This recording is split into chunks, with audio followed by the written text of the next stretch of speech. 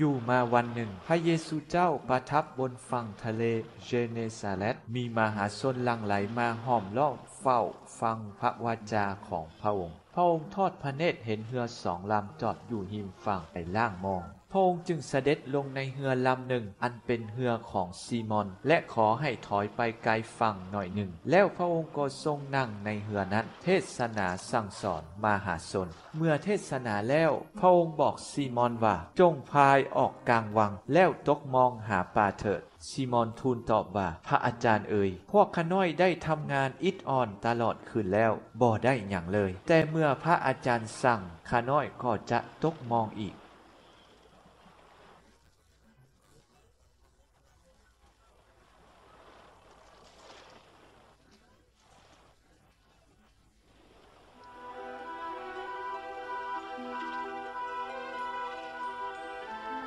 และเมื่อตกมองแล้วก็ถึกป่ามากหลายจนมองขาด พวกเขาจึงควักมือเอิ้นหมู่ชาวปามง ที่อยู่เหืออีกลำหนึ่งมาส่วย พวกนั้นก็ได้พากันมา และตักปลาขึ้นใส่เต็มเหือทั้งสองลำจนเกือบหลง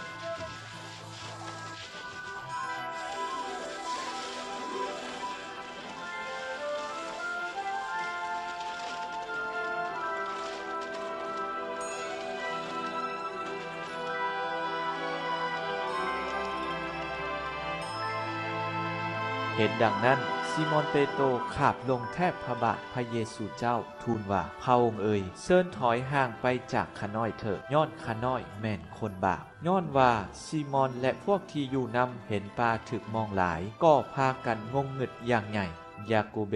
และยวงบุตรของเซเบเดที่เป็นหมู่ของซีมอนก็คือกันด้วย พระเยซูเจ้าจึงกล่าวกับซีมอนว่า อย่าย่านเลย แต่นี่ไปเจ้าจะเป็นผู้จับคน และเมื่อพายเรือมาถึงฝั่งแล้ว พวกเขาก็ปาทิมทุกสิ่งทุกอย่างที่ตามพระเยซูเจ้าไป